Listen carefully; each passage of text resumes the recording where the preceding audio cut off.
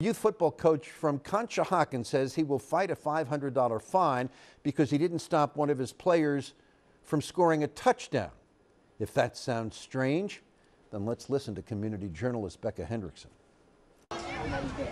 It's a blowout game, and all these kids are about five to seven years old. The league rule is you can't run up the score past 30 points. This touchdown makes it 31 to 0. It was his chance, and he's seeing the end zone, and he did not want to fall down, and he scored. That's Conshohocken Bears football coach Kyle Williams there. All his backups are in, and he's sprinting down the sideline trying to stop his backup running back from scoring. Oh, you should have, you should have tripped him. Why would I trip a kid? Why would I? Said that?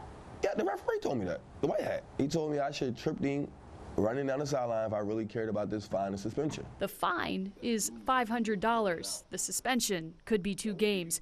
Coach Williams has a hearing with the Keystone State Youth Football League Monday. Yeah, I broke the rule. Yeah, I got to deal with the rule. Do I agree with the rule?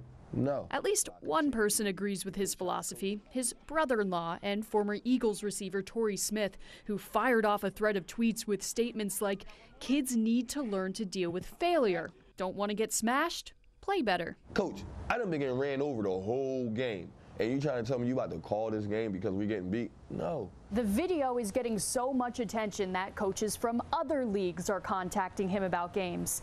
He scheduled one for Thursday night that has no mercy rule. He thinks his kids might get blown out, but he also thinks that's a good lesson for them. Just in case they do face a taste of uh, losing, I'm not going to be the coach making a big deal about them losing or this mercy rule. In Conshohocken, Becca Hendrickson, Channel 6 Action News.